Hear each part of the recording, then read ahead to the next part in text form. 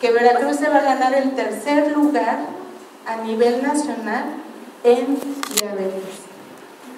O sea, en tercer lugar. En primer lugar está la cirrosis hepática, segundo la anorexia bulimia y en tercer lugar está la diabetes. De esta manera, el ciclo de conferencias del Día Mundial de la Diabetes aquí en el auditorio de Sala de Cultura en la ciudad de Alautamapach, Veracruz.